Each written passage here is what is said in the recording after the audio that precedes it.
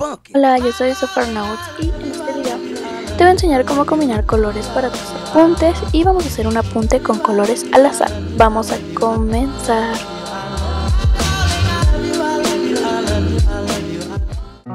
Hola, en este video te voy a enseñar cómo combinar colores para tus apuntes y pues primero debemos conocer la teoría del color. La teoría del color. La verdad es que no soy experta ni nada en este tipo de cosas, pero trataré de explicarlo lo mejor posible. En el círculo cromático tenemos tres colores primarios, que son el amarillo, el rojo y el azul. Los, los, colores primarios nos dan los colores secundarios y los colores secundarios y primarios los terciarios. Ahí pueden observar mi círculo cromático. En esta imagen se entiende un poquito mejor. Vamos a empezar con los apuntes monocromáticos. Esto quiere decir que los vamos a hacer de un solo color en distintas tonalidades. Por ejemplo, ahí les muestro un ejemplo con el morado, que este, puedes empezar haciendo tus apuntes si no sabes qué colores usar, de puros morados, puros rojos, puros azules, puros amarillos, puros naranjas, y se te va a hacer mucho más fácil. Ahí pueden observar que se ve muy bonito porque pues todos son de la misma composición. Los apuntes análogos o las combinaciones análogas son de colores que están cercanos en el círculo cromático, por ejemplo, el verde, el turquesa, el azul, el rosa, el morado y el naranja, y ahí pueden observar ejemplos de combinaciones análogas. Y la verdad los apuntes se ven muy lindos, por ejemplo, rojo, naranja y amarillo pueden funcionar. Otra forma de hacer tus apuntes es por fríos y cálidos, es decir, hacer tus apuntes con puros colores cálidos o hacer tus apuntes con puros colores fríos. Igual, ustedes buscan un círculo cromático y les va a enseñar todo esto que les acabo de decir. Los colores complementarios van a ser los que están contrarios en el círculo cromático. Por ejemplo, rojo, verde, amarillo y morado, verde y rojo ya les había mencionado, naranja y azul. Estos son los colores que se van a ver siempre bien juntos, de hecho las marcas los utilizan. El rojo y el verde que les recuerda pues a la Navidad. Ahí ven este apunte que yo hice con morado y amarillo y la verdad se ve muy lindo. Resalta más que el de turquesa y morado. Y este otro de naranja con azul. Aquí les muestro más o menos eh, los tipos de combinaciones con el círculo cromático para que les saquen captura de pantalla. Pueden investigar más del tema. Otra opción para combinar colores en tus apuntes son las paletas de colores. Estas las puedes sacar al azar como ahí ven, yo tenía los ojos cerrados y pues saqué ahí unos colores pues como digo al azar y me gustó bastante la combinación, de hecho lo voy a intentar utilizar en mis apuntes y ahí ven que se ve muy lindo. Y así pueden intentar, si no les gusta pues lo vuelven a intentar y a intentar y en una hojita pueden marcar todas las que les gusten. Otra opción es buscar en Pinterest color palette y les van a aparecer un montón. Estas son diseñadas para cuando pintas recámaras, para diseños de interiores, para mil cosas y tú las puedes utilizar para tus apuntes.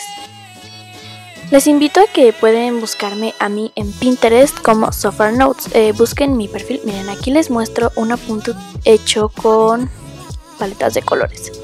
Mi Pinterest es el que tiene la foto de perfil ahí la pueden observar y tengo varios tableros que me interesaría que revisaran. Por ejemplo este de Asterix donde encontrarán muchísimas imágenes para su bullet journal y apuntes.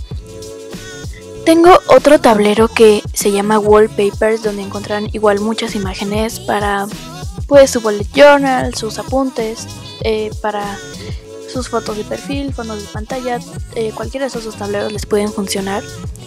Y pues el del tema de este video que es el de Color Palette y pues se llama Apuntes 2.0 pero adentro de está el de paletas de color. Y ahí pueden ver que tengo un montón que les pueden ayudar muchísimo para sus apuntes, para sus combinaciones que quieran utilizar. Incluso para las miniaturas eligen una de esas. Muy bien. Y ahora podemos recordar que pues pueden utilizar apuntes como les decía eh, con colores eh, monocromáticos o utilizando gamas ya sea de fríos, cálidos, análogos, todo lo que ya les expliqué anteriormente. Ahí lo que yo eh, les recomiendo es que aunque los vayan a hacer monocromáticos, cuiden que combinen, por ejemplo, un azul frío a un azul eh, más aqua, que combinen. Ahí les puedo mostrar que pues las marcas utilizan también esto. Les prometo que Burger King no me pagó, Burger King. y utiliza los colores primarios su logotipo y llama muchísimo la atención. Ahora voy a hacer una paleta de colores al azar. La primera que saqué fueron puros azules así de casualidad y pues la verdad dije no, tiene que ser algo más loco. Y pues volví a intentarlo, volví a cerrar los ojos y me salió esta que me gustó muchísimo. Ahora vamos a agarrar plumones de, la de los mismos colores que elegí mi paleta. Ahí pueden ver eh, un time lapse mío buscando los materiales. Y pues ahí ya estoy haciendo el apunte. La verdad me gustó muchísimo cómo quedó el apunte. Eh, ahí pueden observar, es el fascismo en Europa, pero yo escribí Europa. Entonces volví a hacer el título de Europa en una hoja, lo recorté y de fondo agregué muchísimos círculos eh, de colores del título con la paleta de color. Y pues ya escribí la información, decoré, hice más círculos chiquitos y se ve muy padre la verdad. Así fue como quedó el apunte, la verdad no esperé que fuera tan, tan bien como quedó. Y ahora vamos a hacer un apunte con colores al azar, donde todas las puntas, cada plumón es de un color diferente. Ahí les prometo que yo tenía los ojos cerrados, por eso de hecho no se ve cuando agarro algunos plumones, porque yo no sabía si se estaba viendo. Eh, esos fueron los colores que quedaron. Y la verdad sí fue como que todo un reto porque me tocó naranjas, azules, rosas, verdes, de todos los colores. Empecé escribiendo mi título que era discriminación étnica y racial. Hasta ahí todo iba bien, pero no sabía cómo iba a poner el rosa, así que hice muchos, muchos círculos. Luego de eso eh, hice como estas onditas eh, muy aesthetic, pero pues eran muchísimos colores, entonces quedó muy gigante. No sé si, si se ve tan bien, pero bueno. Ya después tenía que escribir como unos conceptos y los hice con los dos fine liners que me tocaron.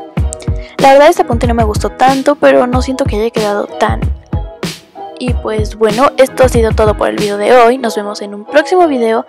No olviden suscribirse, darle like y pues adiós. Nos vemos en el próximo video. Bye.